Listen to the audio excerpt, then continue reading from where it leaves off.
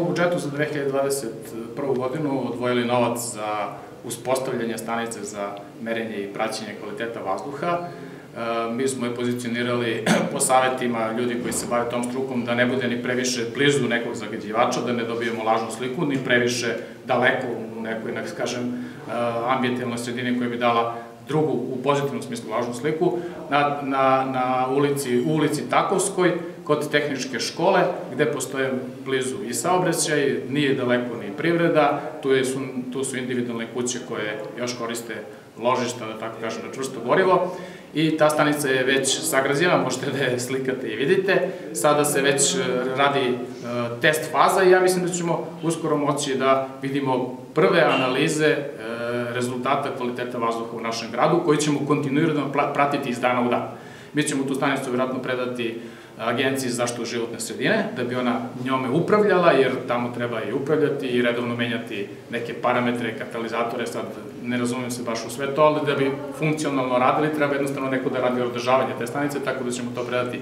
Agenciji za zaštitu životne sredine. I u ovom trenutku ćemo meriti ono što je najznačajnije i što najviše, čini mi se, u javnosti izaziva neko interesovanje. To su te čuvene PM10 i PM2,5 čestice, to su one sitne čestice, da tako kažem, gareži ili nekog zagađivača oko kog se lepe drugi zagađivači koji utiču na disajne organe pre svega, dakle 10 mikrona i 2,5 mikrona, to ćemo da merimo, to smo mi finansirali i obratili smo se pre svega Tigar Tiresu da eventualno učestvuje u nadogradnji modularnoj te stanice, jer pored ovoga što sam rekao, možemo da merimo ako, naravno, nadogradimo module i sumporne okside, i azotne okside, i ugljen dioksid, i ugljen monoksid, i razne druge zagađivače, sve što nadogradimo kao modul možemo da merimo, oni su izdvojili 20.000 eura i ja im se zahvaljujem.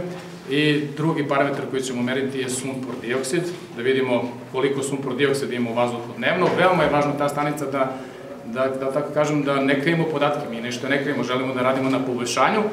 ali kada neka baka sa unukom, neka mama sa, sa detetom, neko želi da krene u šetnju, da vidi da li je kvalitet vazduha u tom trenutku u Pirotu dobar ili da sačeka povoljnije vreme. To nam je jednostavno cilj i želimo da to bude dostupno svima, pre svega vama, bit će i na sajtu Pirota, na sajtu Agencije za životne sredine i u nekoj narednoj fazi, ja se nadam, ako ne do kraja ove godine, u proleće sledeće godine, da tamo postavimo i ekran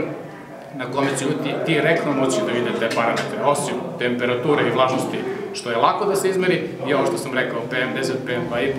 stanje sumpor dioksida, i vjerojatno ćemo u sledećoj godini još jedan modul neki predvidjeti, vidjet ćemo koji je najznačajniji, konsultovat ćemo Zavod za javno zdravlje.